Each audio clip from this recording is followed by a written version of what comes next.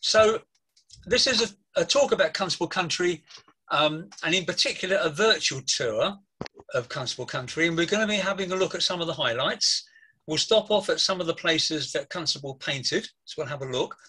Now I know that it's um you know for many of you this is going to be quite familiar territory, and I'm, I'm sure you've all been to Constable Country many times. Um, but I don't know about you, but I, I never tire of um, of actually visiting country, you know, going to Dedham, going to Flatford.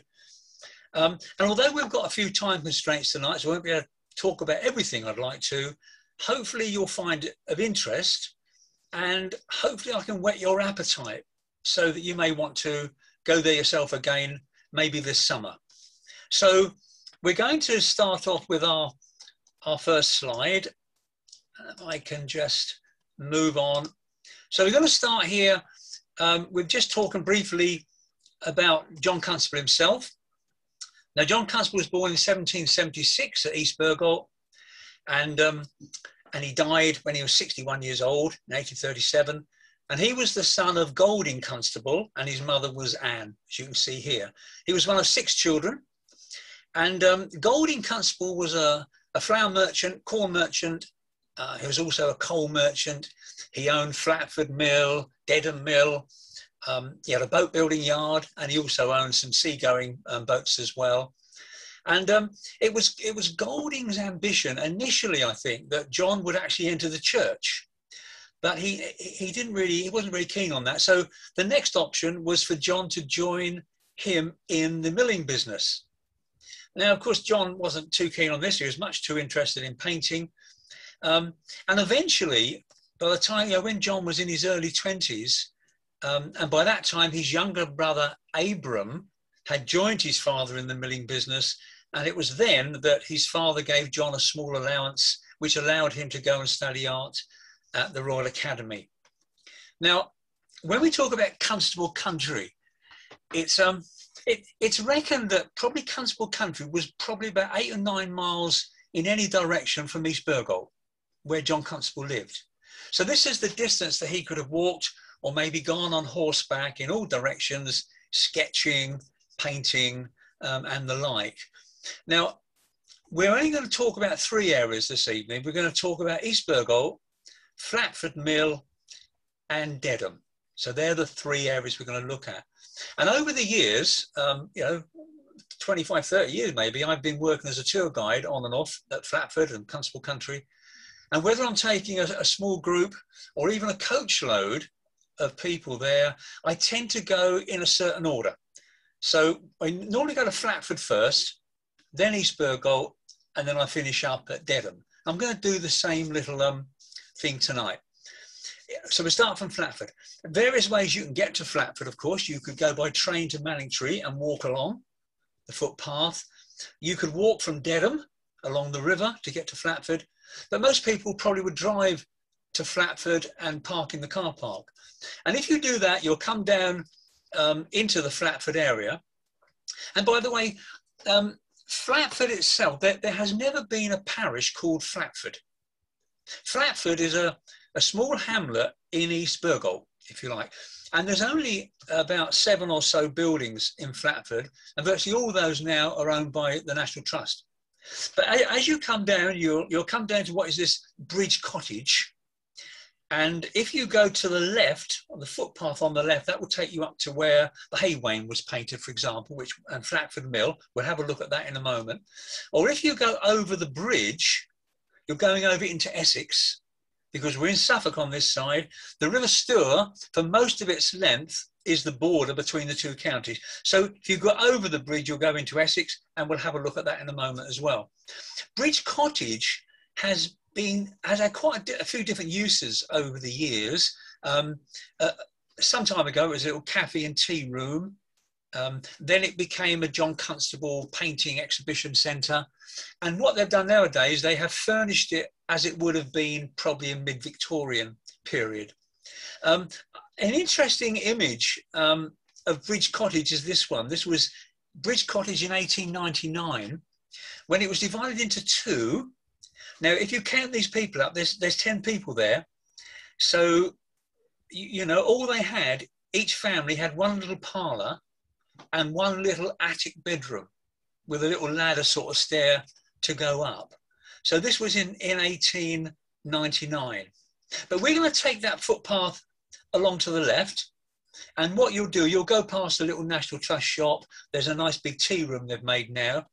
And the first site that you come to, not very far along there, is one of John Constable's sites for his painting. And this was called Boat Building, which he did this in 1814.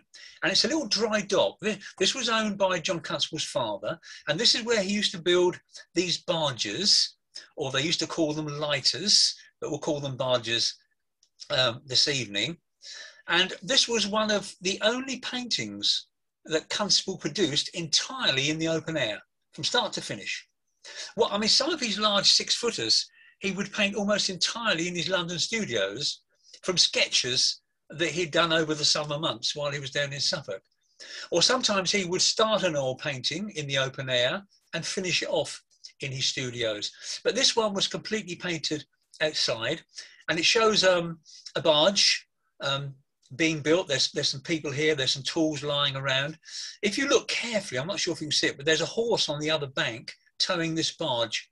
This barge has just come through Flatford Lock and it's gonna, he'll uncouple the horse shortly and he's got to go under Flatford Bridge. Um, this is what it's like now. So this is the viewpoint, you'll go there now. So it's, it's, it's a kind of dry dock. There, there were plans to actually get a barge actually and put it there for the for the tourist um, market. And also, of course, you can put water in it. You can fill it all up. Now, if you want to float your barge and you've got it full of water, um, what you do, you basically just pull a plug out the other end. It's like pulling the plug out your bath, and all the water sucks out the plug hole and it goes under a pipe, goes through a pipe which runs under the river. So the pipe runs right under the river and it goes into a ditch on the far side. And when they want to flood it again, they take these planks up, let the water come in, then put the, put the planks back again. So it, it shows you on this illustration here, look. So there's the, the dock, there's the dry dock, there's the plug. So to empty it, you pull the plug out and it runs under this pipe here, look, and goes into this ditch. If, if you go on the other side of the river and you, you don't mind going down a little grassy bank, you can see the outflow of that pipe um, still going into one of the ditches. If you, while you're at the boat building, if you, if you walk over to the river and stand right on the edge of the river and look to your right, you'll see um, there's Bridge Cottage. You'll see that, and you'll see the bridge going over from Suffolk into Essex. And this was another site of one of John Constable's paintings. So virtually from the same viewpoint that you, are looking at now, Constable painted this image. Uh, he called it View on the Stour, 1822. And you can just about see part of the cottage look.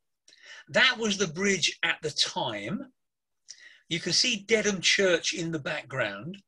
It's only, it's only about a 20 to 30 minute walk if you want to walk from Flatford up to Dedham along the river. Most of these barges or lighters were towed up the river in pairs, they were joined together. So what they've done here, they've uncoupled two barges They've just come through Flatford Lock and they're going up river. And because the towpath, normally the horses will pull them along the towpath. You can see a horse here. They'll pull them along a towpath. But because there's no towpath going under the bridge, they have to uncouple the horse and the, they have to pole them with poles and push them under the bridge. And then they connect the horses up again afterwards. Now, going back to the little road that we came along, if you keep on going to the end, you'll come to Flatford Mill, which you can see here on your right. And if you look in the distance, um, there's Willie Lott's house. They used to call it Willie Lott's cottage, but it was officially named a house. It's far too big to be, to be a cottage. Um, as I said earlier, most of the buildings at Flatford now are owned by the National Trust, but most of those buildings have been let to the Field Studies Council. And the Field Studies Council um, run courses um, on all sorts of nature subjects and painting, things like this. And if you if you are a student on one of these courses, then you get to stay maybe in Flatford Mill, or that's where you might do some of your teaching or learning. And Willie Lott's house is used for student accommodation. So they're not actually open to the public. You can't actually go in there unless you happen to go on a on one of their courses. But before we go up to this area, which is where the Hay Wain was painted, you see this little driveway here. Well, if we just turn left and look through there, we've got this lovely house. This is the oldest building at Flatford. It's Valley Farm, um, dates back to the 15th century. And um, this is also now used as student accommodation. But um, apart from this little lean-to on the left, which, which wasn't original, that's pretty much as it was. And this was called a hall house. And it was a hall house because it, it's kind of divided into three. Now, there's the main doorway going in. And when you go into that door, you went into a cross passage. And that cross passage went straight to the rear door. They were lined up. And on the right hand side of that cross passage were two rooms here.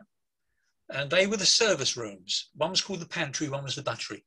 And then you went into the main part of the building, which is the hall. Now, the hall was what we might call a, uh, a glorified kitchen come diner come lounge. That's where everything happened. And the hall, there was no ceiling. The, the, it went right from the floor right up to the rafters. So that's why it was called an open hall. And in the middle of the floor, you'd have a fire. So the fire was in the middle of the floor. You do all your cooking there, and you always have all your meals there, and so on. And at the left-hand side, this end was what they call the high end, and that would be where the parlour. That's where the head of the family would have, have his. Um, he could have a private room and a little solar come bedroom upstairs. But this is how most most old timber frame houses were all to, done to a similar design. And I, have just got it here so you can see it. Um, so this is the floor plan of a hall house. You can see the model on the right. So there's the cross passage. That's the door we could see. Um, and then you've got door to the buttery and a door to the pantry. The pantry is where you'd have dry goods, bread, flour, things like that. Buttery would be milk, drink, and, and wet stuff. And then you'd have these little um, pieces here um, just to provide a bit of wind protection. There's, there's, there's called screens, but they were like big oak boards. And then you go into the large hall, and there's the fireplace in the middle. And then you can go into the parlor end. And the stairs were often like little ladders in, in, in you know, many cases.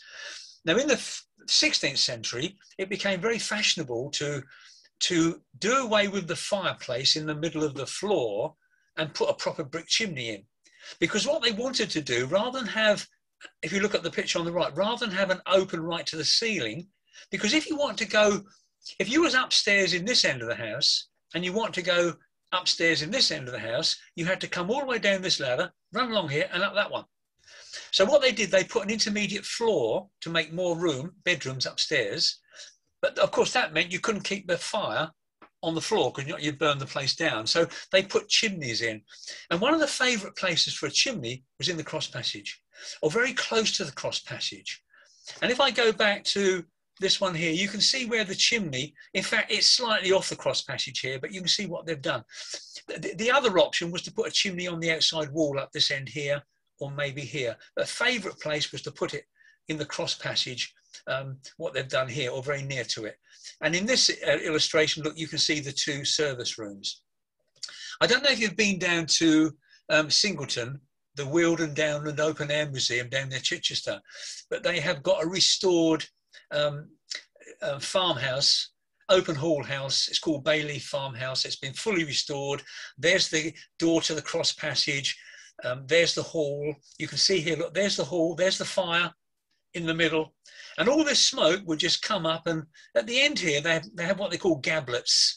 And there'd be a lot of smoke hood. So the smoke could come out there or there, or it could just filter through the tiles, or it could just come out this window. There'd be a big window like this at the back as well. So if you haven't been there, that's, um, that's really good as well. Now moving on to the end, um, this is probably the most um, viewed site at Flatford Mill. This is where Constable, this is his viewpoint just here for the hay wain. This was the cart. There's Willie Lott's house. Willie Lott was a, um, a farmer. This was called Gibbonsgate Farm at the time. It does say on his gravestone that he lived here all his life, but I actually think he was born in Valley Farm. The, the, the Lotts owned Valley Farm, and he took this over later on. But if we want to have a look at the, let's look at the hay wain. So this is um, an approximation because in the Haywain, he hasn't got all of this house. He's only got part of it. So if we, we take this image, um, all those trees weren't there. These have all grown up over the years. So in, in Constable's time, he could look over the fields. So this is this is what the Haywain looks like. So you can actually see it happening. You're actually walking into his pictures almost. There's the Haywain, um, painted in 1821. Um, there's part of Willie Lott's house. You can see a little lady here doing some washing. Over here, there's a, a, a, man in the rushes there doing some fishing. There's a little dog on the bank here. The little boy is shouting to the dog. And he's probably, he's probably stopped his car in the, in the mill pool here, maybe to tighten the wheels up so they sort of expand a bit so they don't um, leak. But if you look over in the distance, um, Constable has marvellous detail. And if you look right over here, you can see people working in the fields. And there's another haywain, a harvest cart, right over in the background here. And if I just show you, there's a blow up of this bit here. So there's another haywain being filled. And you can see the workers, look, um, getting the harvest in right over in the distance. If you turn round, so we were standing just here at that time, looking this way, if you turn round, this is Flatford Mill. There's the mill itself. This is the mill house. And originally there was two water wheels in here. And you can see where the water exited from those water wheels, one there and one there through these culverts, certainly in Constable's time. But in, in the sort of mid to late Victorian period, they did away with those two wheels and installed a giant wheel, which I'll talk about in a moment, round the back. But um, yeah, this is what it would have looked like. Um, this is a cutaway and you can see the, the two culverts and there's the two wheels that would have been operating on the inside. Now we're going to go back, we're going to go right back to where we started from, um, to the bridge. So this is where, there's Bridge Cottage. And it, what we're going to do, we're going to cross over the bridge into Essex now. And we're going to stop just here. So remember this, when you go, stop here, just there. And um, this is another Constable painting you're going to be looking at because if, if you look at the, it's not the same bridge, but if you look at the wood from the bridge and now look on Constable's painting, so there's, that's where we are now. So we're, we're looking down towards Flatford Mill. Unfortunately, there's lots of trees sort of grown up, but, but there's Flatford Mill in the background here. Um, if you follow this footpath, you'll come to the lock, which is just here. And then further along, you get a lovely view of the back of Flatford Mill. But the, and, and along here to the right, just out of view here, is the little ditch I told you about, where the water from the boat building yard comes under the river, under there, and tips into that ditch. That's how they empty the water. But here's Constable's painting, look. That's how Constable saw it. And um, again, we've, we've got a, a, horse is towing this barge. He's going to obviously uncouple the horse, but he's got to push it under the bridge. There's the little stream look that runs along the back here. That's where they empty the water.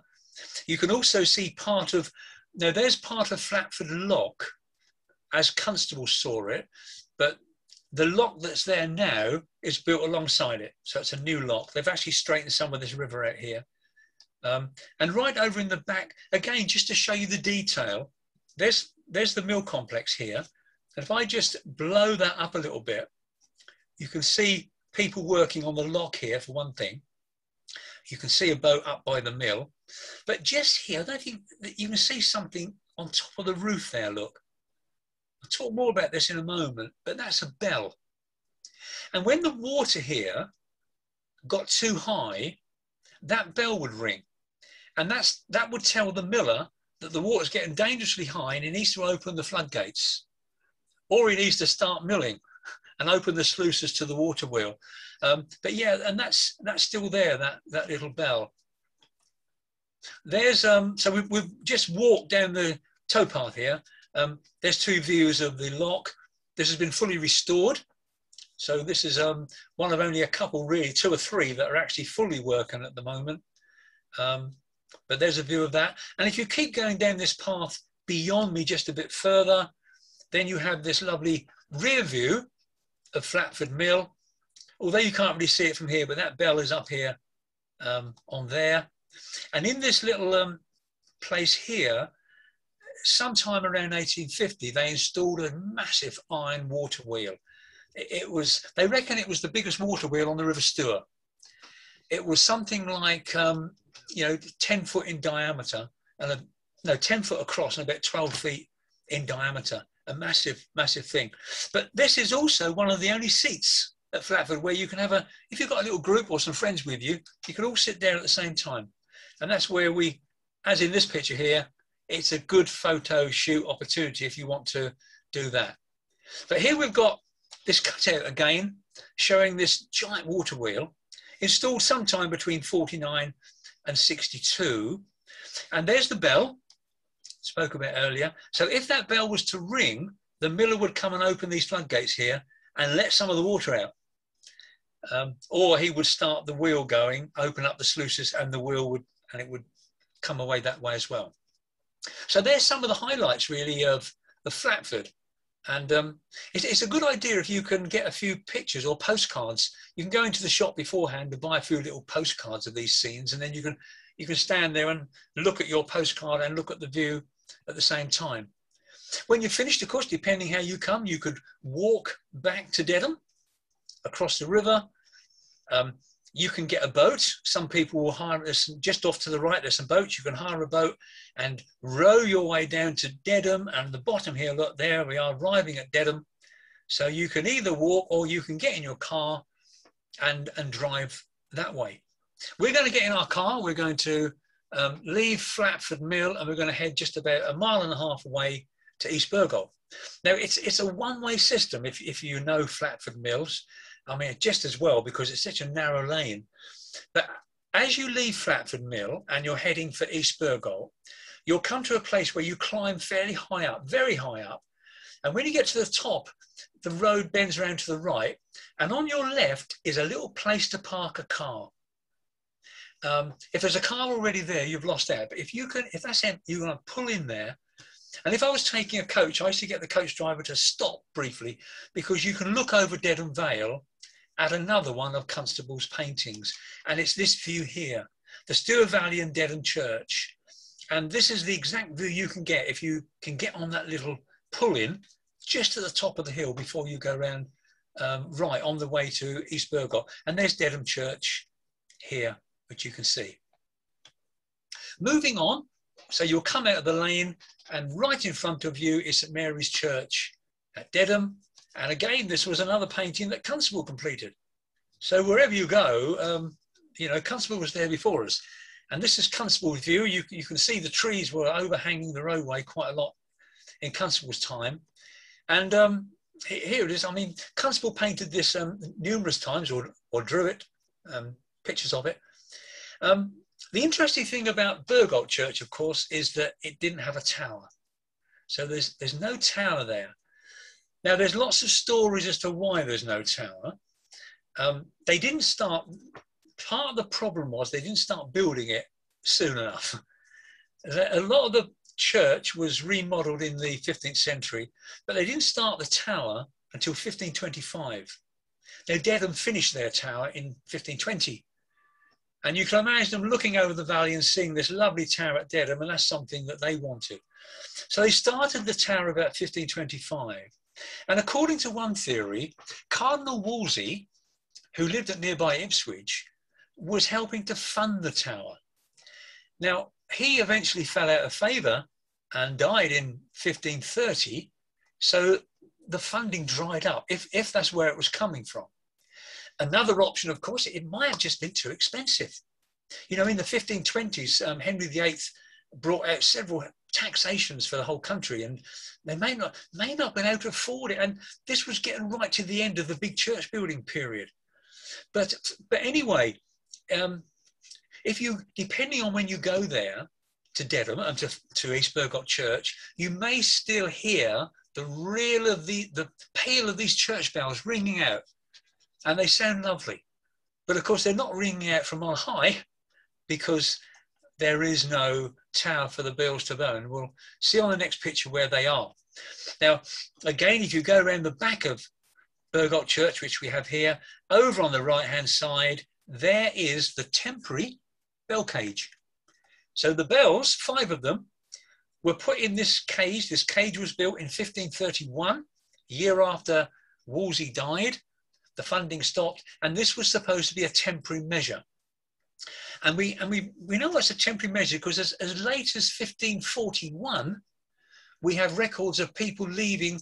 Um, one person left 110 marks, that's over 73 pounds, to finish building the steeple, as they called it.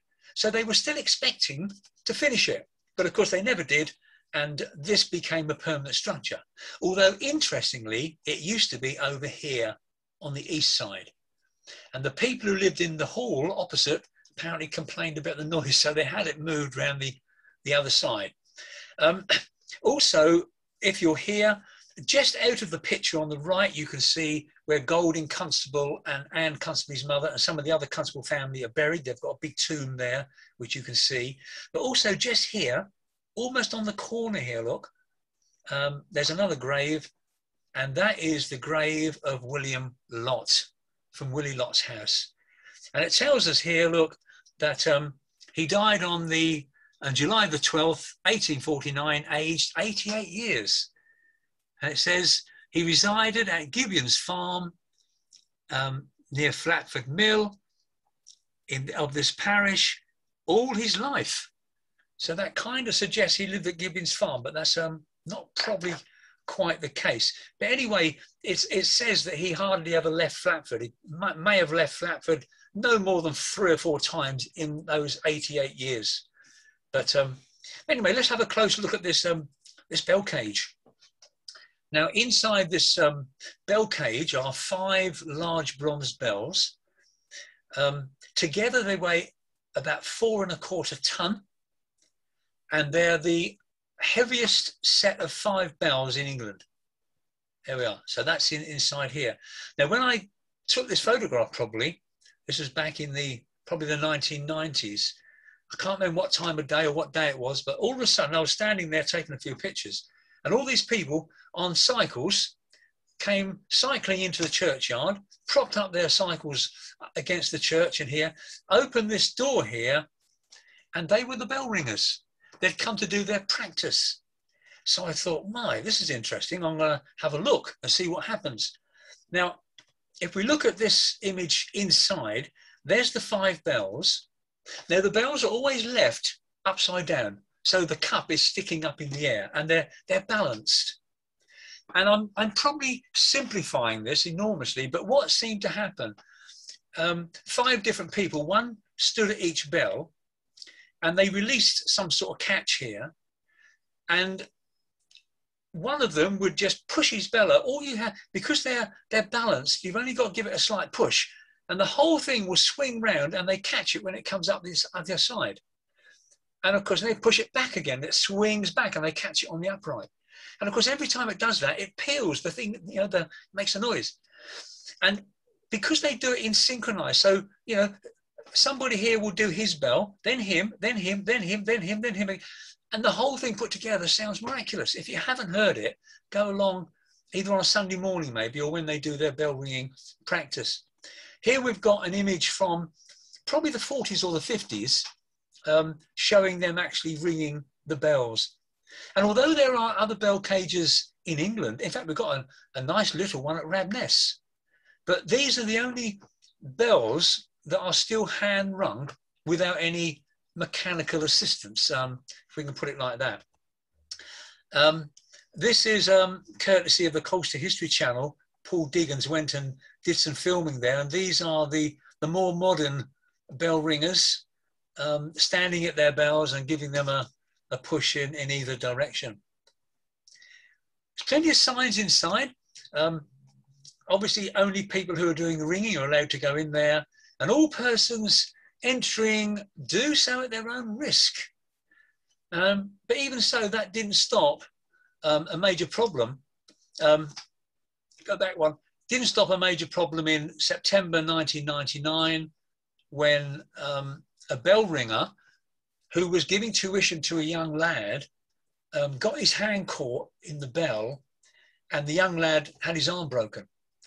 And what the result of that was, the health and safety executive were called in.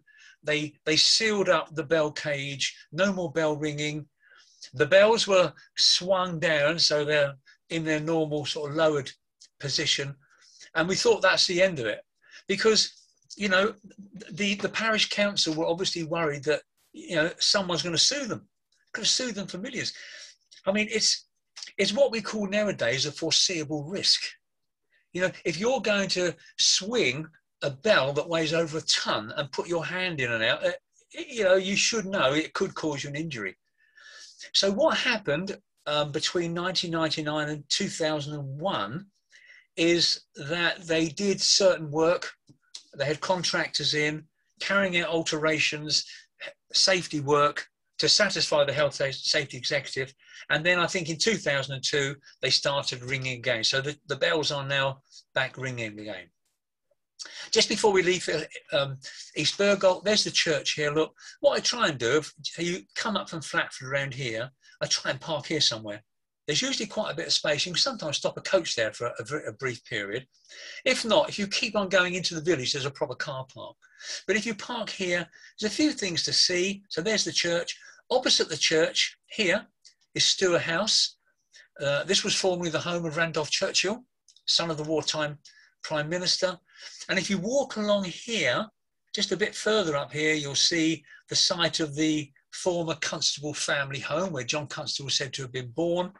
And there's a little plaque on the, the gate here. Further up in the village, you can see John Constable's little studio that he used to do a lot of um, painting in. And he used to spend a lot of time with a, um, a friend of his called John Dunthorne. John Dunthorne the Elder, he was a, a, local plumber and glazier, but he was also a keen artist. And he and John Constable used to go out sketching together, and you can see Dunthorne's little house and Dunthorne's son, um, Johnny Jr., um, he became Constable's assistant later on, later went to London and worked in his studios.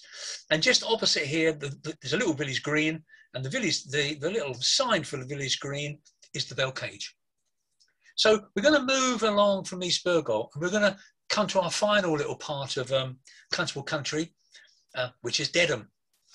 Now, I just want to quote you a couple of words. You've all heard of Nicholas Pevsner the historian, and when he was in his Essex edition, um, when he was talking about Dedham, he said, Dedham is easily the most attractive small town in Essex.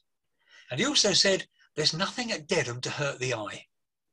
Now, I think that's true. This is um, Dedham in 1832. So it looks quite quaint. The, the, the church dominates, the grammar school dominates. This was a, a sort of large square here where they used to hold the market. And the modern view, yeah, similar. That's the view that, that we have today. Um, very, very popular. Whenever you go there, you're you're kind of be tripping over tourists, but it's it's it's such a nice little place to go. Something you can go down by by the river as well. If we just go a little bit closer, we can look at it. This is the main street. Can't show you it all, lots of quality houses. Dedham was a centre of the cloth industry, like Colchester was uh, early on. Lots of people made um, a lot of money in the cloth trade, and they were able, although many of these buildings aren't old timber frame buildings behind, many were able to put nice Georgian fronts on, and we'll talk about this one in a few moments' time. The building here, the Essex Tea Room, which is now owned and run by um, Wilkinson's um, from Tiptree, the jam people. Nice little place to go, but that's called Mill Lane. And if you go down there, that will take you down to the river. So we're going to go down there first, and then we'll come back to the high street um, a bit later on. So just before where I'm standing on the right hand side, that's where the big car park is at Dedham, so you can park there. But this is the what? Well, this is the old mill, it's been converted into apartments and flats and everything now and lots of bits added on. But this was the mill this wasn't the same mill that constable painted but there's been about three mills here but that's certainly one of them. But if we go around the other side and look back towards the church here we've got dedham lock and mill painted by john constable in 1820 it's a bit difficult to get this exact view um, like we have done with some of the others. But it's quite an interesting. Sometimes in, on some of his paintings, he, you often see Dedham Church in the scene. But on some occasions, it's not actually in the right place. it's like he's moved it a bit to help compose his picture, if you like. But look, there's the mill. Um, there is the lock. So there's a lock. You can see there's a barge coming through Dedham Lock. It's about to come through here out into the mill pool and then it will make its way, up, go under the bridge and off to Flatford Mill. Um, there's the sluices. You can see the there's a big mill pond behind here. The river's built up, obviously, because they need a head of water for that. And you can see the sluices coming down here. Even today, you can still see some of these features. If you, if I just show you this um, Google map for a moment. So there's the high street we started off from.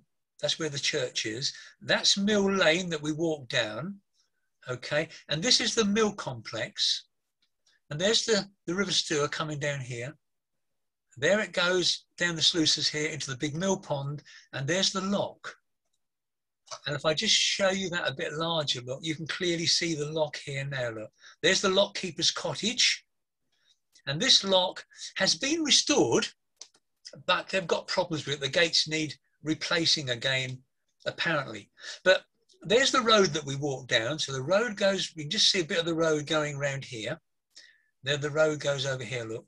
And just here somewhere, there's a little, where these trees are, there's a little footpath where you can walk along and you can walk along a little footway over the sluice, over the lock and come to this field. So that's something quite interesting as well. And this is um, the, the view. So as you start walking along the footpath right behind the mill, you can see the sluice is here, and there's a couple of outfalls here, and the lock, well, that is a bit overgrown, but the lock would, would come out into this pond here. And of course, if you, you walk along further, you walk right across here. So there's the sluice and there's the lock, um, which is, again, it's um, it just all adds to the experience of, of Constable Country if, if you know um, where to look. Now, I just want to talk briefly about these barges. I'll call them barges or lighters. Um, I said generally they would be in pairs, so they'd be coupled together, and they would be towed along the towpath by a horse. And there'd normally be another man, or usually a young boy perhaps, who'd be looking after the horse. If it's a young boy, he might even be on the horse's back. And they, to get to, now the, the actual navigation starts at Mistley or Manningtree and goes to Sudbury. So that's the Stour navigation. And originally, that's where they all, you know, they went right from the quays at Mistley right up to Sudbury and back again. And the distance is just under 24 miles. So about 23 and a half miles. And it would take about two days to get there. This is a horse walking up the towpath. And um, it would take, I say, about two days. It was 13 hours downstream coming back and about 14 hours going upstream. And each of these um, barges could have a cargo weighing um, 13 tons. Yeah, 13 tons. So if you double that up, that horse is pulling about 26 tons along. Now on a, on a road, on the old poor old road system that we had, although a, you know a horse could carry about two or three hundred weight, uh, it might be able to pull a cart weighing about a ton, but these horses are pulling 26 tons or or more. Now the problem was the towpath they couldn't keep on the same path on the same side of the river. Because in in certain areas the farmer who owned the land he might have lots of sheep and cattle grazing and he doesn't want the towpath there and he, and he wouldn't give permission so they had to cross the river to go over on the other side. So it was a constant, it, it wasn't just starting here and walking up one side and coming back down the other side. They would often have to cross over from one side to the other um, to get to a, a towpath that they were allowed to walk on. And um, altogether, between Mistley and Sudbury, they had to do that 33 times. So the horse and the boy had to cross the river 33 times. There wasn't many bridges, so what they did, they put the horse onto one of these barges and boated him across to the other side. Now that sounds quite easy, but you try getting a horse to jump off firm terra firma onto a, a slightly moving boat that's probably wet and slippery. It took a lot of training to get those horses to give them the nerve and the training to actually step into the, the well part of a barge, although they might put straw down to help it. And then they took it over to the other side and the horse would have to jump out again. And even if they were walking up the same path, farmers fit, even if the farmer allowed them on his side, he still might have fences up because he wants to keep his stock in. So the horses had to jump over the fences. And between Mistley and Sudbury, they had to jump 120 fences, these horses. So what a job. And some of these fences were at least three feet high. Um, it's been said that the Stour navigation horses must have been the fittest and strongest of all the canals in England. Not only did they have to pull this 26 tons, they had to cross over the river, 120 jumps, um, working all day long. So bear that in mind. Let's have a look at a, another image. This is near Wormingford Lock, about 1900. And there's a little fence, not a very high one, but the horse, you can see here, has come along this popa and he's leapt across to over there. And um, don't forget, you had to do that 120 times and cross over the river 33 times. Um, Constable, of course, looked at this. He would have observed what was going on, and in at least two of his paintings, he incorporated that into the view. And in this particular image from somewhere between Flatford and Dedham, you can see Dedham Church again here. I'm not sure whether that was literally in view, but he put it there. But there we've got a horse, it's called the Leaping Horse Look. And this time the boys sitting on it, where the boys would have sat on it, it might have done, or I mean, they could have fallen off, obviously, but the, there's the horse look leaping over one of these 120 boundary fences. And another view back at Flatford Mill, we're, we're looking at the, that, that is Willy Lott's house from the back but we can see this is the White Horse. Um, the barge has just come through Flatford Lock. It's on its way downriver. Uh, the, the towpath finishes here. So the, the horse has had to step onto the barge. And what will happen, the barge now goes into mid-water and he'll float downstream a little bit, out of picture, and then he'll jump off on the left bank and then make his way down to Branford, Brantham Lock on his way down to Mistley. So yeah, it's it's quite it's a lot more to that than um, meets the eye. Really, these um, had these barges were moved around. Let's go back now to Dedham High Street again briefly, and um, I want to talk a bit about this building here. This is called Sherman's or Sherman's Hall, and um, I'll show you another view. There it is. This is Sherman's. This was um, this was built, um, it, it's an old building, probably from the 16th century. And um, it was given in 1601 under the will of Edmund Sherman as a school for the village children to learn to do their, to learn to read and to write basically, basically the three R's. And um, opposite over the road, we'll see in a moment, was the grammar school where John Constable attended, where they were taught the classics. But this was really for, um, for, for, probably children aspiring to be tradesmen rather than going to university.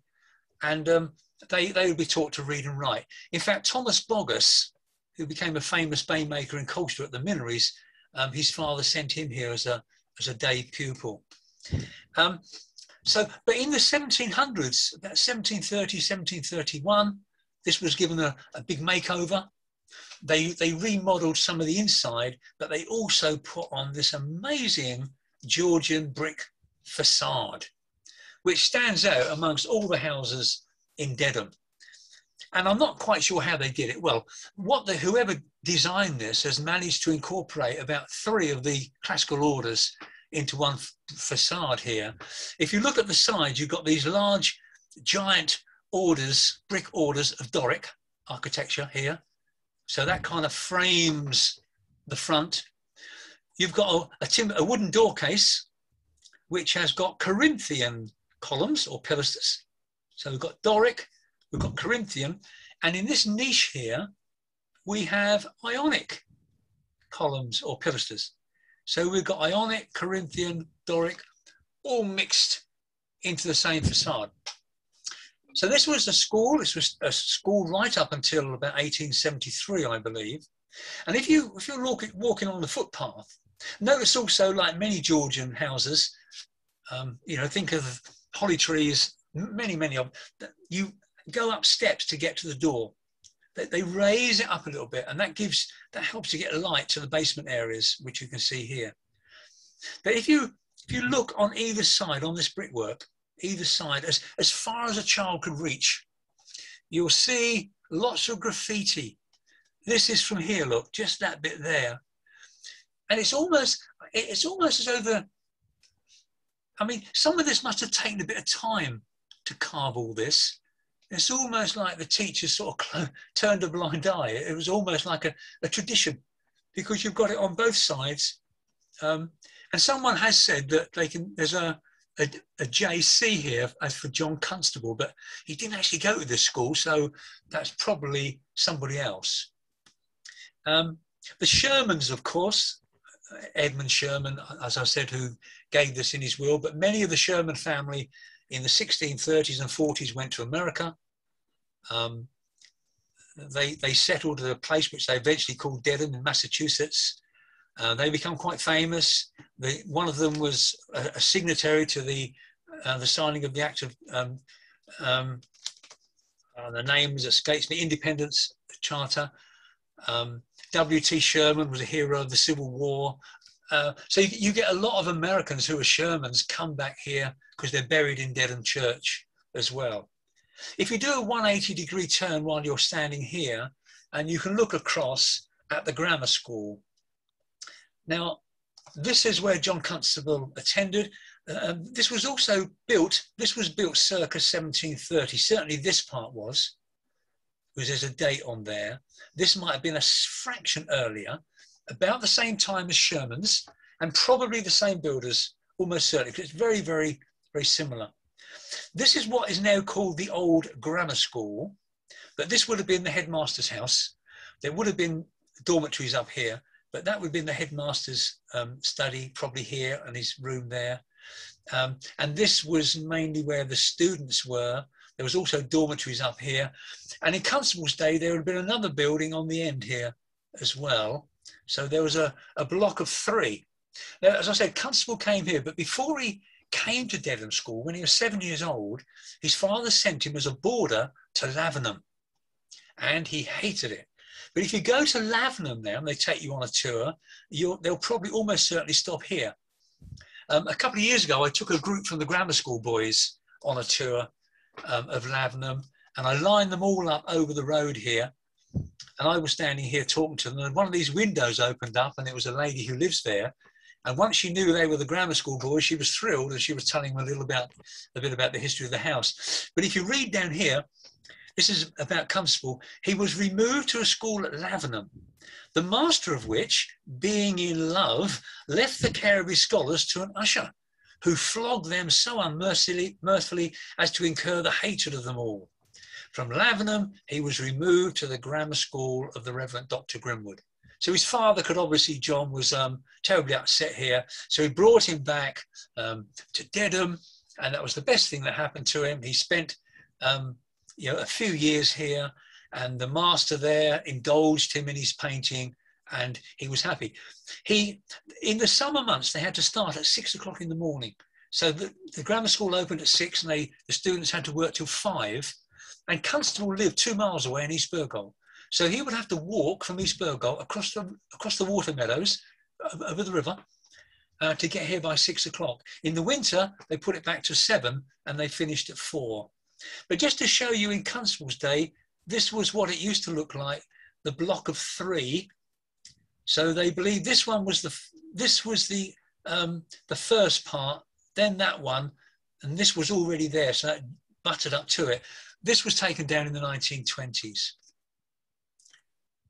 And I want to finish um, our little tour talking a little bit about the church.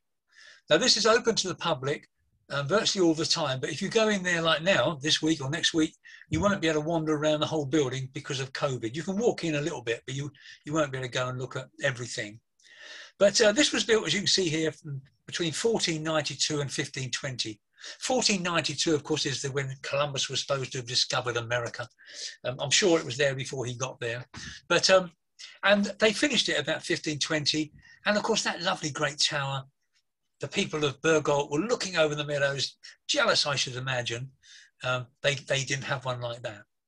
Now, one of the things about Dedham and many other towns and communities um, around the country, after the Reformation in particular, as you got towards the Elizabethan period, um, they the the feeling was, particularly with this sort of Puritan movement coming along, was that people needed to have God's word preached to them.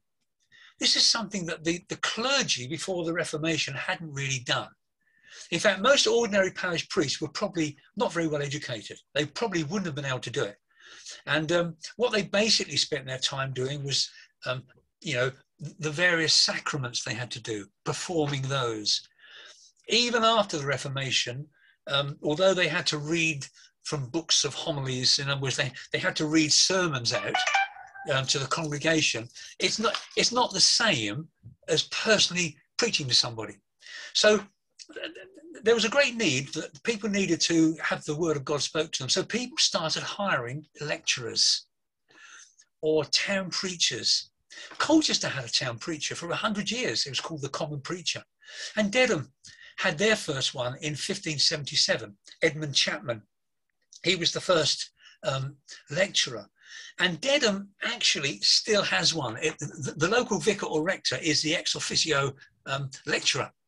But in the days in the past, and in particular in 1605, a lecturer called John Rogers was given the position of lecturer, and he stayed there until he died in 1636. Many of these, these lecturers were academics, and, and from our neck of the woods, they mainly came from Cambridge. So they were educated and they could, they could preach. That's what they were paid for. And Rogers and the other lecturers were basically paid to do two things. They were paid to teach Sunday school or catechism on, on a Sunday and to teach or to preach a weekly sermon. That was their job, to assist the vicar, if you like, or the rector. And the, the weekly sermon was given at eight o'clock on a Tuesday morning.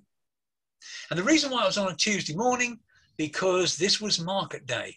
And in the large square just almost to the right of where these gates are now, that's where the market took place. The market opened at nine o'clock and everybody attended the sermon, the lecture. And John Rogers was one of the best. He was called Roaring Rogers. That was his nickname. And he was a real fire and brimstone preacher. You know, they say he, he would grab hold of the pulpit, scream out at the parishioners, take them to task for not reading their Bibles, tell them that your Bibles are covered in cobwebs and dust and and uh, you know God's God's watching you. He knows what. And but people loved it. They used to get congregations every Tuesday morning of at least a thousand, and many academics would ride over on horseback from Cambridge just to hear Rogers.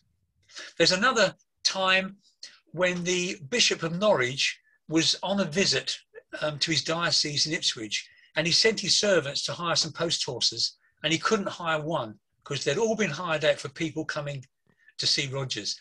And sometimes it's said that when it was a fine day and there's lots and lots of people, he would stand up. You see a little turret here. He would stand on this little turret and preach to as many people as he could in the open air. At the time of his funeral, it said there were so many people crammed into the church, at least 1,200. In fact, just before that, before I go on to that, um, so halfway through his sort of reign, because he was so many people flocking to hear him, they had to install galleries, extra seating for another 300 people or so, right across the western end of the church. Okay, now when he died, these the whole church was packed, the galleries were packed, packed as well, and they, they thought, there were so many people there, they thought the galleries were going to collapse. And I, will just show you this. Look, this is, um, this is a quote by an eyewitness who was at John Rogers' funeral.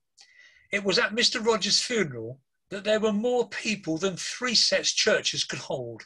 The gallery was so overladen with people that it sank and cracked in the middle, where it was jointed. The timbers gaped and parted one for another. So there was a great cry in the church.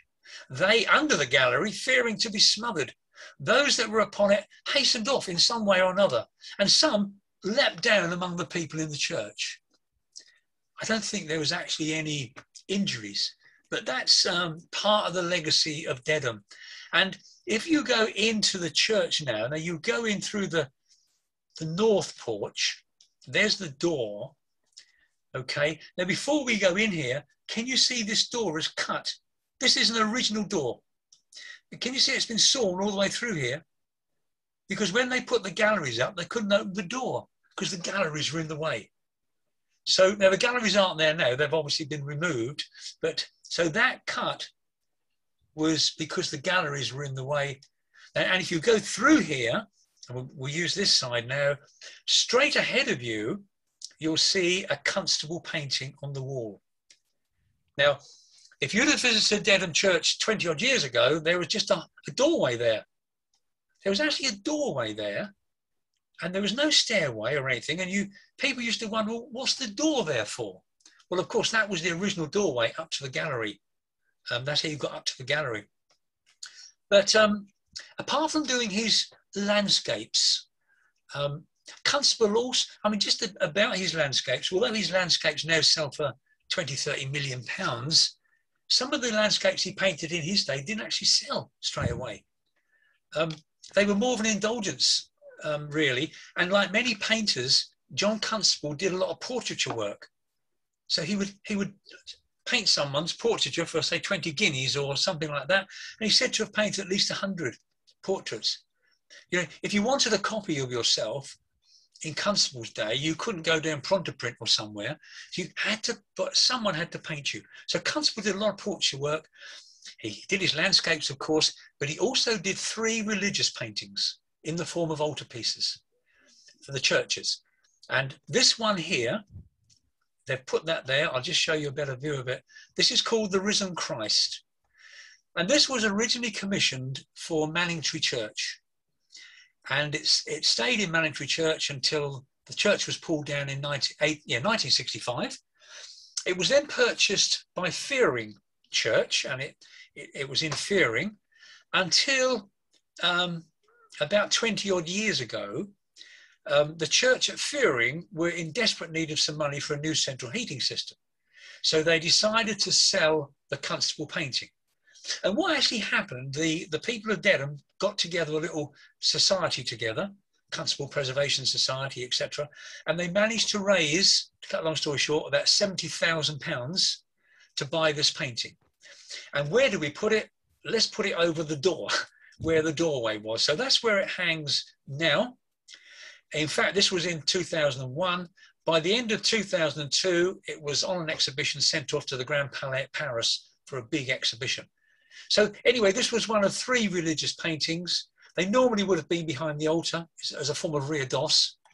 Um, he did one for Brantham Church. This is Christ blessing the children. This is now currently on loan to Emmanuel College in Cambridge.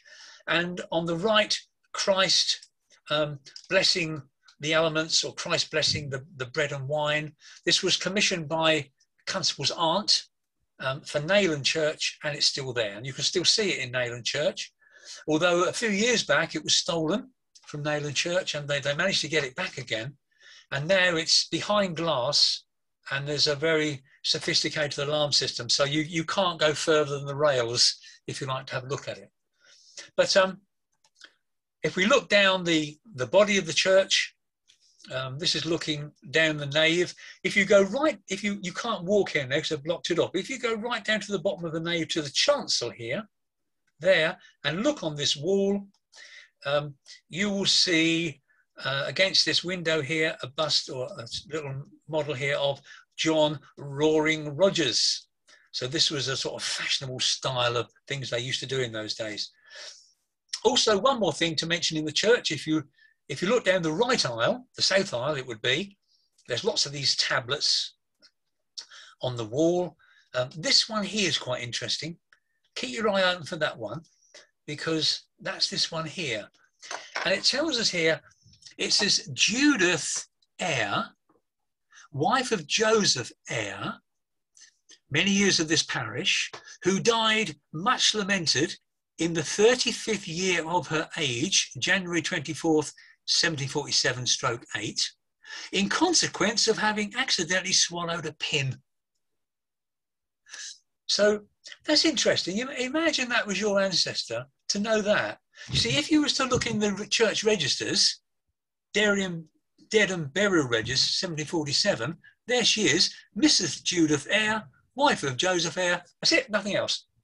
You'd have no idea how old she was, no idea how she died. So always have a look. There could be something, a grave marker, or even something in the church that can give you that extra little clue.